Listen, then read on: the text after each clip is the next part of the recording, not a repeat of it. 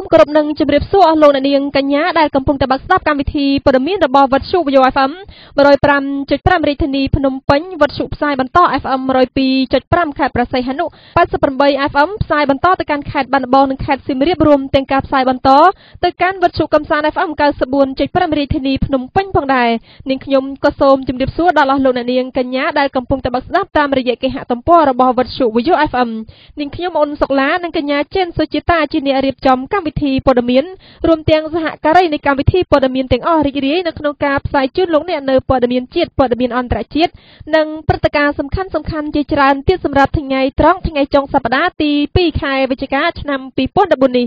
ជាដំបូងមកនឹងជម្រាបជូនព័ត៌មានពិស្ដានាងខ្ញុំសូមជូនពីមេដកាព័ត៌មានជាមុនសិន មេដកាព័ត៌មានជាតិសំខាន់សំខាន់សម្រាប់ថ្ងៃនេះមន្ត្រីជាន់ខ្ពស់កម្ពុជា10រូបផាត់ភ័យពេលធ្វើដំណើរចេញពីរុស្ស៊ីមកកម្ពុជារដ្ឋសភាបោះឆ្នោតជ្រើសតាំងសមាជិកឧត្តមក្រុមប្រឹក្សានៃអង្គចៅក្រមចំនួន1រូបនៅថ្ងៃស្អែក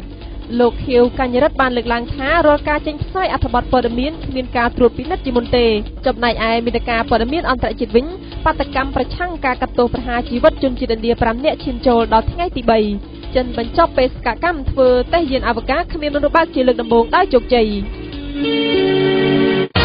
ព័ត៌មានរហ័ស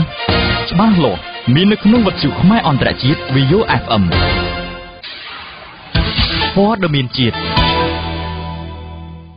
អស់លោកអ្នកនាងអ្នកស្ដាប់ជាទីមេត្រីនាងខ្ញុំសូមផ្ដើមព័ត៌មានជាតិជាដំបូងសម្រាប់ថ្ងៃត្រង់នេះដោយនិយាយពីមន្ត្រីជាន់ខ្ពស់ក្រសួងមហាផ្ទៃ10រូបរងការផិតភ័យនៅប្រលានយន្តហោះប្រទេសរុស្ស៊ីដោយប៉ូលីសរុស្ស៊ីបានសង្ស័យថាមានគ្រាប់បែកលើយន្តហោះកាលពីយប់ថ្ងៃទី1ខែវិច្ឆិកានេះបើយោងតាមលោកវរៈសេនីយ៍ត្រីទីចម្រើនកុសលសូមស្ដាប់ជ័យសុភាជូនព័ត៌មានបន្ថែម បើយោងតាមវីរៈស្នេត្រីទីចំណានកុសលបានទូរស័ព្ទពីប្រទេសរុស្ស៊ីមកប្រទេសកម្ពុជាបានឲ្យដឹងថាមន្ត្រីជាន់ខ្ពស់ក្រសួងមហាផ្ទៃ10រូបបានរងការផិតភ័យនៅប្រលានយន្តហោះប្រទេសរុស្ស៊ីមូលហេតុនៃការផិតភ័យនេះគឺដោយសារតែប៉ូលីសរុស្ស៊ីបានធ្វើការសង្ស័យថាមានគ្រាប់បែកនៅលើយន្តហោះរបស់ពួកគាត់ជិះកាលពីយប់ថ្ងៃសៅរ៍នេះលើពីនេះលោកទីចម្រើនកុសលបានរៀបរាប់ឲ្យដឹងដែរថាមន្ត្រីជាន់ខ្ពស់ក្រសួងមហាផ្ទៃទាំងអស់មានចំនួន10នាក់ដែលបានមកបំពេញបេសកកម្មនៅទីក្រុងមូស្គូប្រទេសរុស្ស៊ីរយៈពេល3សប្តាហ៍ហើយកាលពីយប់ថ្ងៃទី1វិច្ឆិកានេះគឺជាថ្ងៃដែលត្រូវធ្វើការហោះហើរមកកាន់ទីក្រុងសេអ៊ូប្រទេសកូរ៉េវិញ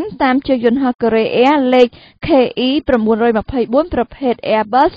330លោកក៏បានបន្តទៀតថានៅពេលដែលអ្នកដំណើរទាំងអស់បានចូលពេញនៅលើយន្តហោះហើយនោះស្រាប់តែមានហេតុការណ៍មួយបានកើតឡើងដែលមានបរិសម្នាក់ជនជាតិរុស្ស៊ីបានសុំចុះពីយន្តហោះជាបន្ទាន់និងនិយាយថាអត់សូវស្រួលខ្លួនប៉ុន្តែភ្លាមៗនោះប៉ូលីសនៅទីក្រុងមូស្គូបានយល់ឃើញថាមិនសមហេតុផលក៏មានការសង្ស័យអាចនឹងមានគ្រាប់បែកបន្ទោះយន្តហោះជាពិសេសសង្ស័យជាភារវកម្មផងនោះប៉ូលីសរុស្ស៊ីបានឲ្យអ្នកដំណើរទាំងអស់នៅលើយន្តហោះចាក់ចេញពីយន្តហោះជាបន្ទាន់ដើម្បីធ្វើការឆែកឆេរនិងត្រួតពិនិត្យ គួររំលឹកថាយន្តហោះដែលមន្ត្រីជាន់ខ្ពស់ក្រសួងមហាផ្ទៃ10រូបជិះនោះគឺនឹងហោះចាក់ចេញពីទីក្រុងមូស្គូប្រទេសរុស្ស៊ីទៅកាន់ទីក្រុងសេអ៊ូប្រទេសកូរ៉េនៅម៉ោង6:10នាទីល្ងាចគឺម៉ោងនៅរុស្ស៊ីបណ្ដាលឲ្យមានការពន្យាពេលជាច្រើនម៉ោងដើម្បីឆែកឆេរជៀសវាងបញ្ហាភារវកម្មណាមួយកើតឡើងនៅលើយន្តហោះផងដែររហូតដល់ម៉ោង23:10នាទីយប់ថ្ងៃសៅរ៍គឺម៉ោងនៅកម្ពុជាប៉ូលីសនិងអាជ្ញាធររុស្ស៊ីបានអនុញ្ញាតឲ្យចូលយន្តហោះវិញបន្ទាប់ពីការត្រួតពិនិត្យរបស់ប៉ូលីសរុស្ស៊ីបានត្រួតពិនិត្យអំពីសុវត្ថិភាពរួចរាល់និងបានសាកសួរជនសង្ស័យរួចរាល់ផងដែរដោយឡែកអគ្គលេខាធិការដ្ឋានរដ្ឋសភាបានចេញសេចក្តីជូនដំណឹងមួយបញ្ជាក់ថានៅថ្ងៃទី3ខែវិច្ឆិកាស្អែកវេលាម៉ោង8ព្រឹករដ្ឋសភានៃព្រះរាជាណាចក្រកម្ពុជានឹងបន្តសម័យប្រជុំរដ្ឋសភាលើកទី3នីតិកាលទី5ដោយមានវត្តមានលោកហេងសំរិនប្រធានរដ្ឋសភាដើម្បីធ្វើការបោះឆ្នោតជ្រើសតាំងសមាជិកឧត្តមក្រុមប្រឹក្សានៃអង្គចៅក្រមចំនួន1រូបលើកទី1សូមស្ដាប់ជ័យសុភាជូនព័ត៌មានបន្ថែម លោកហេងសំរិនប្រធានរដ្ឋសភានៃបរិជាណាចក្រកម្ពុជារួមនឹងសមាជិកជាច្រើនរូបទៀតនឹងចូលរួមបើកការប្រជុំបោះឆ្នោតជ្រើសតាំងសមាជិកឧត្តមក្រុមប្រឹក្សានៃអង្គការក្រមចំនួន1រូបលើកទី1ការបោះឆ្នោតជ្រើសតាំងសមាជិកឧត្តមក្រុមប្រឹក្សានៃអង្គការក្រមចំនួន1រូបនេះនឹងរៀបចំធ្វើនៅវេលាម៉ោង8ព្រឹកថ្ងៃទី3វិច្ឆិកានៅវិមានរដ្ឋសភានៃបរិជាណាចក្រកម្ពុជាគួរបញ្ជាក់ថាកាលពីថ្ងៃទី30ខែតុលាវេលាម៉ោង8ព្រឹកគណៈកម្មាធិការអចិន្ត្រៃយ៍រដ្ឋសភាបានបើកកិច្ចប្រជុំរដ្ឋសភាក្រោមអធិបតីភាពរបស់លោកហេងសំរិនប្រធានរដ្ឋសភានៃប្រជាណាចក្រកម្ពុជាក្រោយពេលបញ្ចប់ដំណើរនៃកិច្ចប្រជុំសភាលទ្ធផលគឺបានលេចចេញជាផ្លែផ្កាមួយចំនួនដូចជាការយល់ព្រមនិងសេចក្តីសម្រេចមួយចំនួនរួមមានអង្គប្រជុំបានអនុម័តទទួលយកពាក្យសុំឈរឈ្មោះបេក្ខជនចំនួន5រូបជាសមាជិកឧត្តមក្រុមប្រឹក្សានៃអង្គការក្រមសម្រាប់អាណត្តិទី5លើកទី1ដែលបញ្ចូលក្នុងរបៀបវិរៈសម័យប្រជុំរដ្ឋសភាលើកទី3នីតិកាលទី5អង្គប្រជុំបានអនុម័តយល់ព្រមលើសេចក្តីព្រាងសេចក្តីសម្រេចស្តីពីទូនីតិភារកិច្ចរបស់គណៈកម្មាធិការទី10នោះគឺគណៈកម្មាធិការអង្គើតបោះសម្អាតនិងប្រឆាំងអំពើពុករលួយនៃរដ្ឋសភាដើម្បីរៀបចំជាសេចក្តីសម្រេចរបស់រដ្ឋសភា អង្គប្រជុំបានអនុម័តយល់ព្រមបញ្ជាក់ការបរិច្ឆេទបន្តសម័យប្រជុំរដ្ឋសភាលើកទី3នីតិកាលទី5នៅថ្ងៃច័ន្ទទី3ខែវិច្ឆិកាវេលាម៉ោង8ព្រឹកដើម្បីបោះឆ្នោតជ្រើសតាំងសមាជិកឧត្តមក្រុមប្រឹក្សានៃអង្គការក្រមសម្រាប់អាណត្តិទី5លើកទី1ចំនួន1រូប អង្គប្រជុំបានអនុម័តយល់ព្រមសេចក្តីព្រាងច្បាប់ស្តីពីហិរញ្ញវត្ថុសម្រាប់ការគ្រប់គ្រងឆ្នាំ2015ជូនគណៈកម្មាធិការសេដ្ឋកិច្ចហិរញ្ញវត្ថុធនាគារនិងសាវនាកម្មនៃរដ្ឋសភាពិនិត្យនិងសិក្សាហើយរាយការណ៍ជូនគណៈកម្មាធិការចិន្ត្រៃយ៍របស់រដ្ឋសភាវិញអង្គប្រជុំបានអនុម័តយល់ព្រមប្រគល់សេចក្តីព្រាងច្បាប់ ស្តីពីការទូទាត់ថវិកាទូទៅរបស់រដ្ឋឆ្នាំ2013ជូនគណៈកម្មាធិការសេដ្ឋកិច្ចហិរញ្ញវត្ថុធនាគារនិងសាវនកម្មនៃរដ្ឋសភាពិនិត្យសិក្សាហើយរាយការណ៍ជូនគណៈកម្មាធិការរដ្ឋសភាវិញជាការកត់សម្គាល់នៅក្នុងសេចក្តីសម្រេចខាងលើក៏បានបញ្ជាក់ពីការបោះឆ្នោតជ្រើសតាំងសមាជិកឧត្តមក្រុមប្រឹក្សានៃអង្គការក្រមចំនួន1រូបលើកទី1ថាអង្គប្រជុំបានអនុម័តយល់ព្រមបញ្ជាក់ការបរិច្ឆេទបន្តសម័យប្រជុំរដ្ឋសភាលើកទី3នីតិកាលទី5នៅថ្ងៃច័ន្ទទី3ខែវិច្ឆិកាវេលាម៉ោង8ព្រឹកដើម្បីបោះឆ្នោតជ្រើសតាំងសមាជិកឧត្តមក្រុមប្រឹក្សានៃអង្គការក្រមសម្រាប់អាណត្តិទី5លើកទី1ចំនួន1រូបផងដែរបន្តទៅព័ត៌មានជាតិមួយទៀតស្ដីពីថ្ងៃទី1វិច្ឆិកាជាថ្ងៃបើកបវេសនការឆ្នាំសិក្សាថ្មី2014-2015ជាមួយគ្នានេះលោកនាយករដ្ឋមន្ត្រីហ៊ុនសែនប្រមុខរដ្ឋាភិបាលកម្ពុជាក៏បានចេញសារលិខិតក្នុងថ្ងៃបវេសនការឆ្នាំសិក្សាថ្មីនេះផងដែរខ្លឹមសារសំខាន់ក្នុងលិខិតនេះគឺលោកនាយករដ្ឋមន្ត្រីផ្ដល់ជាអនុសាសន៍សិស្សានុសិស្សត្រូវចងចាំជានិច្ចថា អ្នកចេះទើបប្រឡងជាប់ជាបន្តសូមស្ដាប់សេចក្តីរាយការណ៍ពីសាយវិសាលបន្ទាប់ពីក្រសួងអប់រំបានប្រកាសពីលទ្ធផលនៃការប្រឡងសញ្ញាបត្រមធ្យមសិក្សាទុតិយភូមិលើកទី2រួចមកនៅថ្ងៃទី1ខែវិច្ឆិកានេះគឺជាថ្ងៃដែលស្នូសម្លេងជួងបានបន្លឺឡើងនៅគ្រប់សាលារៀនគ្រប់ខេត្តក្រុងទូទាំងប្រទេសដែលសបញ្ជាក់ថាគឺជាថ្ងៃបើកបវេសនាការឆ្នាំសិក្សាថ្មី2014-2015 ក្នុងថ្ងៃជាមួយគ្នានេះប្រមុខរដ្ឋាភិបាលកម្ពុជាដែលដឹកនាំដោយលោកនាយករដ្ឋមន្ត្រីហ៊ុនសែនក៏បានចេញសារលិខិតក្នុងថ្ងៃបើកបវេសនាការឆ្នាំសិក្សាថ្មីនេះផងដែរក្នុងសារលិខិតបានបញ្ជាក់ថាថ្ងៃទី1ខែវិច្ឆិកានេះជាថ្ងៃដែលមានអត្ថន័យដ៏ជ្រាលជ្រៅមួយសម្រាប់វិស័យអប់រំនៃព្រះរាជាណាចក្រកម្ពុជា ជាថ្ងៃបើកទំព័រឆ្នាំសិក្សាថ្មីសម្រាប់សិស្សនិស្សិតក្នុងវ័យសិក្សានិងជាថ្ងៃចាប់ផ្ដើមជីវិតសិក្សាដំបូងសម្រាប់កុមារដែលទើបដល់អាយុត្រូវចូលរៀន។ លិខិតដដែលបានបញ្ជាក់ទៀតថាឆ្លៀតក្នុងឱកាសនេះក្នុងនាមថ្នាក់ដឹកនាំរដ្ឋាភិបាលកម្ពុជាសូមសម្ដែងនូវការកោតសរសើរចំពោះលោកគ្រូអ្នកគ្រូបុគ្គលិកអប់រំគ្រប់លំដាប់ថ្នាក់មាតាបិតាអ្នកអាណាព្យាបាលសិស្សនិស្សិត អាជ្ញាធរដែនដីនិងដៃគូអភិវឌ្ឍទាំងអស់ដែលបានបូជាទាំងកម្លាំងកាយចិត្តសម្ភារៈជួយជ្រោមជ្រែងគ្រប់សកម្មភាពក្នុងការបំពេញការងារតាមទូនាទីភារកិច្ចរៀងៗខ្លួនប្រកបដោយការទទួលខុសត្រូវក្នុងបុព្វហេតុកសាងនិងអភិវឌ្ឍវិស័យអប់រំនៅគ្រប់ភូមិសិក្សានិងដំណើរការប្រកបដោយជោគជ័យក្នុងរយៈពេលកន្លងមក ទន្ទឹមនឹងនេះដើម្បីពង្រឹងនៅគុណភាពអប់រំយើងត្រូវបន្តផ្ដោតការយកចិត្តទុកដាក់ចំពោះការពង្រឹងការបណ្ដុះបណ្ដាលនិងពង្រឹងសមត្ថភាពគ្រប់គ្រងការលើកទឹកចិត្តជូនគ្រូបង្រៀនឲ្យមានលទ្ធភាពនិងសមត្ថភាពគ្រប់គ្រាន់ដើម្បីតម្កល់ចិត្តនិងស្មារតីចំពោះការសិក្សាស្រាវជ្រាវនិងការបង្រៀនការពង្រឹងគុណភាពក្នុងការប្រឡងការកែលម្អលក្ខខណ្ឌនៃការសិក្សាការបង្កើតបណ្ណាល័យមន្ទីរពិសោធន៍និងបង្កើនការផ្គត់ផ្គង់សម្ភារៈសិក្សាជាដើម។ ដែលឡែកស្របពេលដែលក្រសួងអប់រំយុវជននិងកីឡាកំពុងអនុវត្តកម្មវិធីកំណែតម្រង់ស៊ីជម្រៅលើការប្រឡងសញ្ញាបត្រមធ្យមសិក្សាទុតិយភូមិដែលជាសារមួយក្នុងការបន្តជំរុញឲ្យមានគុណភាពអប់រំនៅកម្ពុជាជាមួយគ្នានេះលោកនាយករដ្ឋមន្ត្រីក៏បានផ្ដល់ជាអនុសាសន៍ដល់សិស្សានុសិស្សត្រូវចងចាំថាអ្នកចេះទើបប្រឡងជាប់បន្តទៅព័ត៌មានជាតិមួយទៀតស្ដីពី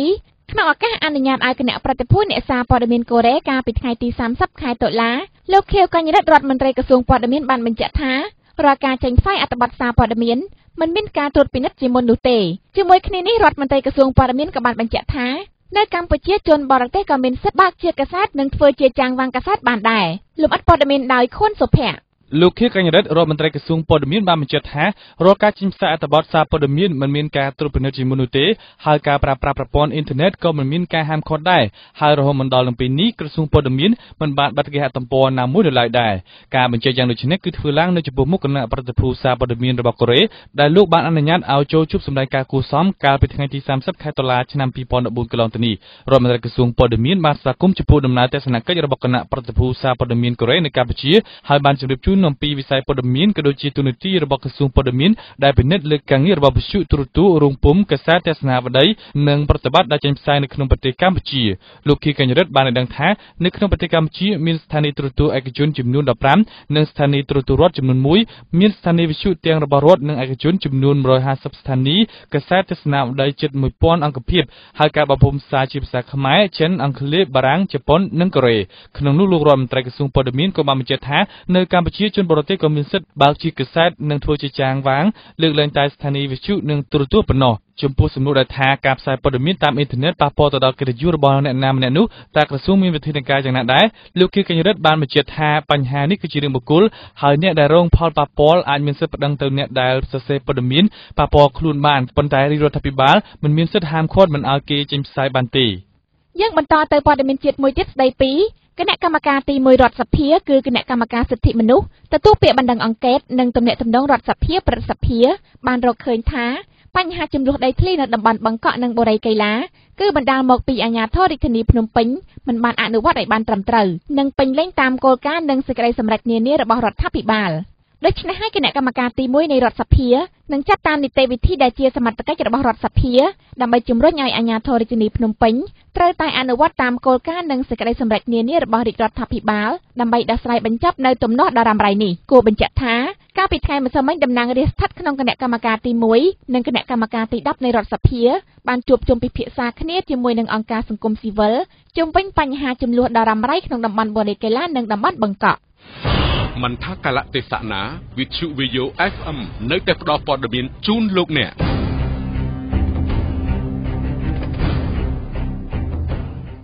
យើងបន្តចាប់អារម្មណ៍ពីព័ត៌មានជាតិដដែលដើម្បីកាត់បន្ថយនៅការកកស្ទះចរាចរណ៍ក្នុងថ្ងៃពិធីបុណ្យអុំទូកខាងមុខសាលារាជធានីភ្នំពេញបានជូនដំណឹងដល់អ្នកបើកបររថយន្តគ្រប់ធនទាំងអស់មិនអនុញ្ញាតឲ្យធ្វើចរាចរណ៍ចូលក្នុងរាជធានីភ្នំពេញចាប់ពីម៉ោង10ព្រឹករហូតដល់ម៉ោង10យប់ក្នុងអំឡុងពេលនៃពិធីនេះ។ តែយ៉ាងណាក៏ដោយសាលាក្រុងក៏បានរៀបចំកន្លែងដើម្បីម្ចាស់រថយន្តធុនធំរថយន្តដឹកទំនិញរថយន្តឈ្នួលដឹកអ្នកដំណើរនិងរ៉ឺម៉កម៉ូតូផងដែរតើរថយន្តដែលធ្វើចរាចរណ៍លើផ្លូវជាតិសំខាន់សំខាន់ត្រូវចតនៅទីតាំងណាខ្លះយើងនឹងវិលមកលម្អិតព័ត៌មាននេះនៅក្នុងនីតិហេតុការណ៍សំខាន់នាពេលបន្តិចទៀតនេះដែលមានសេចក្តីរាយការណ៍ពីសាយវិសាលព័ត៌មានរហ័ស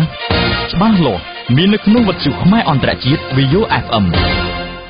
ក្នុងឱកាសពិធីបុណ្យអុំទូកដែលនឹងចាប់ផ្ដើមពីថ្ងៃទី5ដល់ថ្ងៃទី7ខែវិច្ឆិកាខាងមុខនេះកម្មករនិយោជិតត្រូវបានអនុញ្ញាតឲ្យឈប់សម្រាកដោយទទួលបានប្រាក់ឈ្នួលក្រសួងការងារនិងបណ្ដុះបណ្ដាលវិជ្ជាជីវៈបានជូនដំណឹងដល់នាយកសហគ្រាសគ្រឹះស្ថានទាំងអស់អំពីការអនុវត្តច្បាប់ស្ដីពីការងារដែលអនុញ្ញាតឲ្យកម្មករនិយោជិតបានឈប់សម្រាកក្នុងឱកាសពិធីបុណ្យអុំទូករយៈពេល3ថ្ងៃ។ សេចក្តីជូនដំណឹងរបស់ក្រសួងការងារបានបញ្ជាក់ឲ្យដឹងថាដើម្បីបង្កលក្ខណៈងាយស្រួលដល់បងប្អូនកម្មករនិយោជិតក្នុងឱកាសពិធីបុណ្យអុំទូកបណ្ដែតប្រទីបនិងសំពះព្រះខែនិងអកអំបុកខាងមុខនេះសូមម្ចាស់និងនាយកសហគ្រាសគ្រឹះស្ថានទាំងអស់អនុញ្ញាតឲ្យកម្មករនិយោជិតទាំងអស់របស់ខ្លួនឈប់សម្រាកដោយមានប្រាក់ឈ្នួលក្រសួងការងារសង្ឃឹមជឿជាក់ថានាយកសហគ្រាសគ្រឹះស្ថានទាំងអស់នឹងអនុវត្តសេចក្តីជូនដំណឹងនេះឲ្យបានត្រឹមត្រូវនិងមានប្រសិទ្ធភាព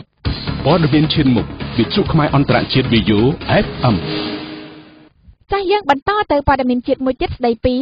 ក្រោយពីមានកិច្ចប្រជុំត្រីភាគីពិភាក្សាអំពីបញ្ហាប្រាក់ខែគោលដែលរៀបចំដោយក្រសួងការងារកាលពីថ្ងៃទី30ខែតុលាកន្លងទៅនេះជាលទ្ធផលគឺស្ថិតនៅក្នុងភាពចម្រូងចម្រាសដដែលលោកអត្ថព័ត៌មាននេះដោយអឿនភីរ៉ា កាលពីថ្ងៃទី30ខែតុលាកន្លងទៅក្រសួងការងារបានរៀបចំកិច្ចពិភាក្សាជាលក្ខណៈត្រីភាគីដើម្បីពិភាក្សាពីបញ្ហាប្រាក់ខែជាមួយក្រុមសហជីពកម្មករនិងនិយោជិតតែជាលទ្ធផលពួកគេនៅតែមិនទាន់បានឯកភាពគ្នាទៅលើការកំណត់ប្រាក់ខែរបស់កម្មករសម្រាប់ឆ្នាំ2015ដដែល។ មិនទាន់ឯកភាពត្រង់ថាក្រមយោជកបានបដិសេធថាមិនអាចដំឡើងប្រាក់ឈ្នួលលើសពី110ដុល្លារបានទេខណៈពេលដែលក្រមសហជីពកម្មករទាមទារត្រឹម140ដុល្លារហើយសម្រាប់ភាគីតំណាងរដ្ឋាភិបាលកំណត់យកត្រឹម121ដុល្លារគួរបញ្ជាក់ថាកិច្ចពិភាក្សាត្រីភាគីនេះនៅតែមិនទាន់បានសម្រេចជាលទ្ធផលច្បាស់ណាមួយនៅឡើយទេស្របពេលដែលភាគីទាំង3នៅតែប្រកាន់ចំហរៀងៗខ្លួនតែទោះជាយ៉ាងណាក្តីគេនឹងដាក់របាយការណ៍ទៅគណៈកម្មការប្រឹក្សាការងារដើម្បីពិនិត្យនិងពិភាក្សាបន្ថែម មន្ត្រីជំនាញក្រសួងសាធារណការនិងដឹកជញ្ជូនបានឲ្យដឹងថាការសាងសង់ស្ពានអ្នកលឿងគឺសម្រេចបានជាង90%ហើយ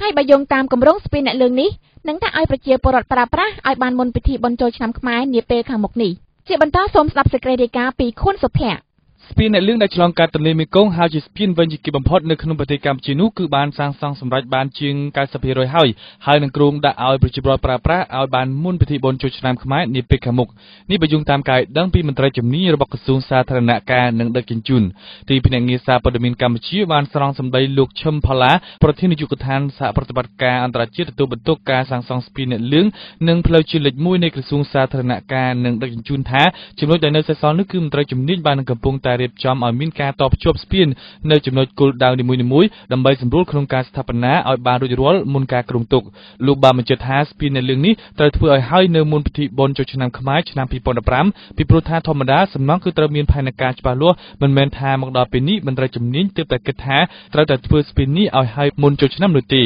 គូបញ្ជាក់ថាគម្រោងសាងសង់ស្ពាននៅលើនេះគឺចាប់ផ្ដើមសិក្សាតាំងពីឆ្នាំ2006រហូតបានឯកសារពិតប្រាកដក្នុងឆ្នាំ2007ហើយទម្រាំតែរដ្ឋាភិបាលជប៉ុនសម្រាប់ឲ្យធ្វើការសាងសង់ស្ពាននោះគឺក្នុងឆ្នាំ2010ស្ពាននៅលើមានប្រវែងជាង2000ម៉ែត្រដោយចំណាយថវិកាសាងសង់អស់ជាង90លានដុល្លារសហរដ្ឋអាមេរិកដែលជាជំនួយឥតសំណងរបស់រដ្ឋាភិបាលជប៉ុននិងប្រាក់បដិភាគរបស់រដ្ឋាភិបាលកម្ពុជា ការសាងសង់ស្ពាននៅលើនេះគឺចាត់ចែងជា3ដំណាក់កាលដំណាក់កាលទី1សាងសង់ស្ពានត្រៃខាងលិចដំណាក់កាលទី2សាងសង់ស្ពានត្រៃខាងកើតនិងដំណាក់កាលទី3គឺសាងសង់ស្ពានមេភ្ជាប់នៅកណ្ដាលចាស់យើងនឹងបិទបញ្ចប់ព័ត៌មានជាតិនៅក្នុងថ្ងៃនេះស្ដីពីដើម្បីលើកកម្ពស់វិស័យអប់រំនៅកម្ពុជាសហព័ន្ធសហភាពយុវជនកម្ពុជា ដែលហៅកាត់ថាសសយកបានចេញសេចក្តីថ្លែងការណ៍មួយនៅថ្ងៃទី1ខែវិច្ឆិកាឆ្នាំ2014នេះដែលជាទិវាដ៏សំខាន់សម្រាប់វិស័យអប់រំនៅកម្ពុជា ព្រោះជាថ្ងៃបើកបវេសនការថ្មីឆ្លៀតក្នុងឱកាសនោះផងដែរសសយកក៏បានចូលរួមអបអរសាទរនិងកោតសរសើរដល់ក្រសួងអប់រំយុវជននិងកីឡាដែលបានយកចិត្តទុកដាក់ក្នុងការលើកកម្ពស់វិស័យអប់រំនៅកម្ពុជា ជាពិសេសជំរុញឲ្យកុមារបានចូលរៀនគ្រប់គ្រប់គ្នានិងកំពុងដំណើរការនៅកំណែទម្រង់ថ្មីនៃវិស័យអប់រំជាមួយគ្នានេះដែរសសយកក៏បានថ្លែងអំណរគុណដល់លោកគ្រូអ្នកគ្រូដែលបានខំយកចិត្តទុកដាក់បង្ហាត់បង្រៀនដល់សិស្សានុសិស្ស ក៏ដូចជាយុវជនគ្រប់រូបដើម្បីឲ្យពួកគេក្លាយជាធនធានមនុស្សដ៏ល្អសម្រាប់សង្គមជាតិលើសពីនេះទៅទៀតសសយកក៏បានអំពាវនាវដល់សិស្សានុសិស្សគ្រប់រូបខិតខំចាប់យកឱកាសសិក្សាដ៏មានតម្លៃក្នុងកលៈទេសៈនៃសន្តិភាពនិងស្ថិរភាពបច្ចុប្បន្នដើម្បីក្លាយជាអ្នកបន្តវេន និងជាក្បាលម៉ាស៊ីននៃកំណើនសេដ្ឋកិច្ចរយៈពេលវែងរបស់កម្ពុជាអ៊ីនធឺណិត Easycom Radio តើលោកអ្នកចូលចិត្តស្ដាប់វិទ្យុដែរឬទេប្រសិនបើលោកអ្នកចូលចិត្តលោកអ្នកអាចស្ដាប់ការផ្សាយផ្ទាល់របស់វិទ្យុតាមរយៈប្រព័ន្ធអ៊ីនធឺណិត Easycom ដោយឥតគិតថ្លៃលោកអ្នកអាចស្ដាប់វិទ្យុដែលលោកអ្នកចូលចិត្តដោយចូលទៅកាន់គេហទំព័រ www.easycom.com.kh/liveradio សូមជ្រើសរើសលោកកូវិទ្យុណាមួយដែលលោកអ្នកចូលចិត្តហើយចូលរួមស្ដាប់ដោយរីករាយ វិទ្យុរបស់លោកអ្នកគ្រប់ទីកន្លែងគ្រប់ពេលវេលា Easycom សេវាអ៊ីនធឺណិតលំដាប់ខ្ពស់នៅកម្ពុជាព័ត៌មានអន្តរជាតិ នាងខ្ញុំសូមផ្ដើមព្រឹត្តិការណ៍ព័ត៌មានអន្តរជាតិជាដំបូងគឺនិយាយពីបាតកម្មប្រឆាំងការកាត់ទោសប្រហារជីវិតជនជាតិឥណ្ឌា5នាក់ឈានចូលដល់ថ្ងៃទី3ស្ទើរតែគ្រប់តំបន់នៃតាមីលណាឌូភាគខាងត្បូងប្រទេសឥណ្ឌាពោពេញទៅដោយវងបាតកោតវ៉ាបិទផ្លូវដើម្បីប្រឆាំងទៅនឹងសេចក្តីសម្រេចរបស់តុលាការកំពូលប្រទេសស្រីលង្កាដែលសម្រេចកាត់ទោសប្រហារជីវិតជនជាតិឥណ្ឌា5នាក់ពីបទរត់ពន្ធគ្រឿងញៀនដែលពួកគេយល់ថាជារឿងមិនពិតការធ្វើបាតកម្មបានឈានចូលដល់ថ្ងៃទី3ហើយបើគិតត្រឹមថ្ងៃសៅរ៍ទី1ខែវិច្ឆិកាមានការបិទផ្លូវជាតិផ្លូវរថភ្លើងដុតសម្បកកងឡាន និងដុតរូបរបស់ប្រធានាធិបតីស្រីលង្កាដើម្បីទាមទារឲ្យរដ្ឋាភិបាលខ្លួនធ្វើអន្តរាគមន៍ចំពោះករណីនេះអឿនភិរារាយការណ៍ព័ត៌មាននេះជនជាតិឥណ្ឌាចំនួន5នាក់ដែលជាអ្នកនេសាទត្រូវបានតុលាការប្រទេសស្រីលង្កាកាត់ទោសប្រហារជីវិតកាលពីថ្ងៃទី30ដុល្លារពីបទរត់ពន្ធគ្រឿងញៀន ទោសប្រហារជីវិតដែលចេញដោយតុលាការកំពូលស្រីលង្កាត្រូវបានប្រជាជនឥណ្ឌាដែលរស់នៅទីក្រុងតាមីលណាឌូបាននាំគ្នាធ្វើបាតកម្មប្រឆាំងទៅនឹងសេចក្តីសម្រេចទាំងអស់នេះរយៈពេល3ថ្ងៃមកហើយពលគឺចាប់ពីថ្ងៃដែលតុលាការប្រកាសសេចក្តីសម្រេចមកដល់ថ្ងៃសៅរ៍ទី1ខែវិច្ឆិកាបាតកម្មដែលធ្វើឡើងនៅស្រុកកំណើតរបស់បរិសទាំង5នោះបានធ្វើឡើងតាមរយៈការបិទផ្លូវគោកផ្លូវរថភ្លើងដុតសម្បកកងឡាននិងដុតរូបរបស់ប្រធានាធិបតីស្រីលង្កាគោលបំណងក្នុងការធ្វើបាតកម្មនេះដើម្បីទាមទាររដ្ឋាភិបាលរបស់ខ្លួនចេញមុខដោះស្រាយបញ្ហានេះធ្វើយ៉ាងណាបង្កឲ្យជនទាំង5នាក់នោះមានសេរីភាពឡើងវិញដោយសារតែពួកគេយល់ថាបុរសនេសាទទាំង5នាក់នោះមិនបានធ្វើឲ្យមានកំហុសអ្វីឡើយជាការឆ្លើយតបរបស់រាជរដ្ឋាភិបាលដែលដឹកនាំដោយលោកនាយរដ្ឋមន្ត្រីតាមរយៈអ្នកនាំពាក្យក្រសួងកិច្ចការក្រៅប្រទេសស្រីលង្កាបានសន្យាថានឹងចូលខ្លួនដោះស្រាយបញ្ហានេះជាមួយភាគីស្រីលង្កាតាមផ្លូវច្បាប់ អ្នកនាំពាក្យរូបនេះបានបន្តថាការហ៊ានសន្យាបែបនេះពីព្រោះតែយើងសង្កេតឃើញថាការចាប់ខ្លួនពលរដ្ឋឥណ្ឌាពីសំណាក់អាជ្ញាធរស្រីលង្កាមួយចំនួនតែងតែចាប់ជនគ្មានកំហុសហើយឥណ្ឌានឹងដាក់បណ្ដឹងអូតូចំពោះករណីនេះ គួរបញ្ជាក់ដែរថាបុរសជាអ្នកនេសាទទាំង5នាក់នោះជាជនជាតិឥណ្ឌាត្រូវបានឆ្មាំងសមុទ្រប្រទេសស្រីលង្កាចាប់ខ្លួនលើទូកនេសាទតាំងពីឆ្នាំ2011មកម្លេះនៅក្នុងសមុទ្រស្ថិតនៅកោះឌីវភាគខាងត្បូងរដ្ឋធានីចាហ្វណាដែលស្ថិតនៅភាគខាងជើងប្រទេសស្រីលង្កាអ្នកទាំង5នាក់នោះត្រូវបានតុលាការកំពូលស្រីលង្កាកាត់ទោសប្រហារជីវិតកាលពីថ្ងៃទី30ដុល្លារពីបទរត់ពន្ធគ្រឿងញៀន កាលពីថ្ងៃទី30តុលាផងដែរតុលាការកំពូលស្រីលង្កាបានកាត់ទោសប្រហារជីវិតមនុស្សចំនួន8នាក់ដែលក្នុងនោះមានអ្នកនេសាទជនជាតិឥណ្ឌា5នាក់និងពលរដ្ឋរបស់ប្រទេសនេះចំនួន3នាក់បុរសទាំង5នាក់នេះត្រូវបានកាត់ទោសប្រហារជីវិតដោយតុលាការកំពូលស្រីលង្កាគួរកត់សម្គាល់ថាឆ្មាំងសមុទ្រស្រីលង្កាតែងតែចាប់ឃុំខ្លួនអ្នកនេសាទឥណ្ឌាហើយបានលើកឡើងនៅមូលហេតុជាច្រើនសម្រាប់ការនេសាទក៏ជាបញ្ហាដែលតែងតែធ្វើឲ្យមានការរំជួលចិត្តពីសំណាក់ប្រទេសទាំងពីរនេះផងដែរយើងនៅតែចាប់អារម្មណ៍ពីព័ត៌មានអន្តរជាតិ ជាលើកដំបូងប្រទេសចិនបានធ្វើតេស្តយានអវកាសគ្មានមនុស្សបើកបរទៅភពព្រះច័ន្ទក្នុងរយៈពេល8ថ្ងៃជាលទ្ធផលនៅថ្ងៃសៅរ៍នេះយានអវកាសនេះបានចតដោយសុវត្ថិភាពបំផុតនៅតំបន់ម៉ុងហ្គូលីប្រទេសចិនការធ្វើតេស្តយានអវកាសនេះក្នុងគោលបំណងធ្វើតេស្តស្រាវជ្រាវរកភពព្រះច័ន្ទជាបន្តសូមស្ដាប់សេចក្តីរាយការណ៍ពីលៀងធីតា នៅទីបំផុតទៅយានអវកាសចិនលើកដំបូងបានហោះចេញទៅភពព្រះច័ន្ទក្នុងរយៈពេល8ថ្ងៃគឺទទួលបានជោគជ័យនៅថ្ងៃសៅរ៍ទី1ខែវិច្ឆិកាឆ្នាំ2014នេះបើតាមអ្នកវិទ្យាសាស្ត្រចិនបាននិយាយថាយានអវកាសចិនដែលផលិតអស់រាប់ពាន់លានដុល្លារបានធ្វើដំណើរទៅភពព្រះច័ន្ទនិងធ្វើដំណើរនៅជុំវិញផែនដីដោយជោគជ័យនិងសុវត្ថិភាពបំផុតយាននេះនៅពេលដែលធ្វើដំណើរគឺប្រើល្បឿន25,000គីឡូម៉ែត្រក្នុង1ម៉ោង និងប្រើសីតុណ្ហភាព 2700អង្សាសេតាមពិតទៅយានអវកាសគ្មានមនុស្សបើករបស់ចិនបានធ្វើដំណើរទៅភពព្រះច័ន្ទក្នុងគោលបំណងធ្វើតេស្តស្រាវជ្រាវនៅភពព្រះច័ន្ទតាមរយៈចន្ទគតិទី4អ្នកវិទ្យាសាស្ត្រមួយក្រុមបាននិយាយទៀតថានៅថ្ងៃសៅរ៍ទី1ខែតុលាយានអវកាសគ្មានមនុស្សបើកបានចុះចតដោយសុវត្ថិភាពបំផុតនៅតំបន់យ៉ងកូលីនៅភាគខាងកើតប្រទេសចិនមិនត្រឹមតែប៉ុណ្ណោះទេ គឺទទួលបានជោគជ័យទៀតផងយានអវកាសនេះ នឹងដាក់ប្រើប្រាស់ដំណើរការនៅឆ្នាំ2017ខាងមុខសូមបញ្ជាក់ថាយានអវកាសគ្មានមនុស្សបើករបស់ចិនបានចាប់ផ្ដើមធ្វើដំណើរចេញពីមូលដ្ឋានអវកាសស៊ីនជាងតាំងពីថ្ងៃទី24ខែតុលាឆ្នាំ2014រហូតដល់ថ្ងៃទី1ខែតុលាឆ្នាំ2014បានចតនៅភាគខាងជើងប្រទេសចិនគ្មានអ្វីមករំខានទាំងអស់គួររំលឹកឡើងវិញបន្តិចថាយានខាងលើបានធ្វើដំណើរទៅភពព្រះច័ន្ទនិងធ្វើដំណើរនៅជុំវិញផែនដីដើម្បីធ្វើតេស្តស្រាវជ្រាវនៅភពព្រះច័ន្ទដោយស៊ើបអង្កេតតាមចន្ទគតិទី4យើងនៅតែចាប់អារម្មណ៍ពីព័ត៌មានអន្តរជាតិជាថ្មីម្ដងទៀតក្របរ៉ូកែតបានហោះចេញពីតំបន់ហ្គាហ្សា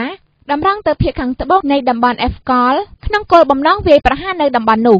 តែការវាយប្រហារនោះមិនមានការខូចខាតអ្វីជាធំដុំឡើយរីឯមនុស្សគ្មានអ្នកណាបានរងរបួសនោះទេ នេះបើតាមសម្ដីទាហានអ៊ីស្រាអែលបញ្ជាក់ការពីថ្ងៃទី31ខែតុលាឆ្នាំ2014កន្លងទៅនេះជាបន្តសូមស្ដាប់សេចក្តីរាយការណ៍ពីពេញផេងយោងតាមក្រុមទាហានអ៊ីស្រាអែលបានប្រាប់អ្នកសារព័ត៌មានឲ្យដឹងថាមានគ្រាប់រ៉ុកែតបានវាយប្រហារមកនៅភាគខាងត្បូងនៃប្រទេសអ៊ីស្រាអែលគឺនៅតំបន់អេស្កូលហេតុការណ៍គួរឲ្យភ្ញាក់ផ្អើលនេះបានកើតឡើងកាលពីថ្ងៃទី31ខែតុលា ក្រុមទាហានអ៊ីស្រាអែលបានចោទថាការបាញ់ចេញពីហ្គាហ្សាគឺជាស្នាដៃរបស់ក្រុមប៉ាឡេស្ទីនហេតុការណ៍ដ៏រន្ធត់នេះសបញ្ជាក់ឲ្យឃើញថាហ្គាហ្សាពិតជាមានចេតនាចង់បង្កសង្គ្រាមយ៉ាងពិតប្រាកដទាហានអ៊ីស្រាអែលបានចាត់ទុកថាការបាញ់គ្រាប់រ៉ុកែតមកលើអ៊ីស្រាអែលគឺជាលើកដំបូងហើយបន្ទាប់ពីមានការផ្ទុះហិង្សាតាំងពីថ្ងៃទី16កញ្ញាកន្លងទៅហើយការបាញ់ជាថ្មីនៅតំបន់ហ្គាហ្សានេះគឺខុសច្បាប់ទាំងស្រុងនិងរំលោភបទឈប់បាញ់រវាងប្រទេសទាំងពីរទៀតផង។ ទាហានអ៊ីស្រាអែលបានបន្តទៀតថាហេតុការណ៍ខាងលើនេះមិនមានអ្នកណារងរបួសនិងមានខូចខាតទ្រព្យសម្បត្តិសាធារណៈនោះឡើយទាហានអ៊ីស្រាអែលក៏បានបញ្ជាក់ទៀតថាការបាញ់គ្រាប់រ៉ុកែតចេញពីតំបន់កាសាមិនទាន់មានការតបតពីសំណាក់អ៊ីស្រាអែលនៅឡើយទេជាការកត់សម្គាល់នេះគឺជាលើកទី1ហើយដែលកាសាបានបាញ់គ្រាប់រ៉ុកែតទៅលើអ៊ីស្រាអែលចាប់តាំងពីថ្ងៃទី16ខែកញ្ញាសង្គ្រាមរវាងអ៊ីស្រាអែលនិងប៉ាឡេស្ទីនបានបង្កហិង្សាមិនចេះចប់មិនចេះហើយ ជាក់ស្ដែងនៅក្នុងសប្តាហ៍នេះអ៊ីស្រាអែលនិងប៉ាឡេស្ទីនបានបង្កសង្គ្រាមដាក់គ្នានៅក្នុងទីក្រុងយេរូសាឡឹម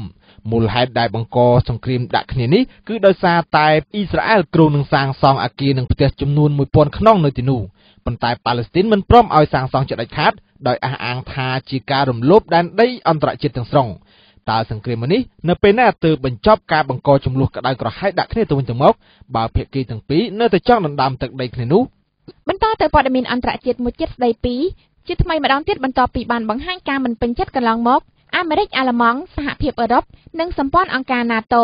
បានថ្កោលទោសចំពោះការរៀបចំការបោះឆ្នោតនៅភាគខាងកើតប្រទេសអ៊ុយក្រែនដែលប្រកាសដោយក្រុមឧទាម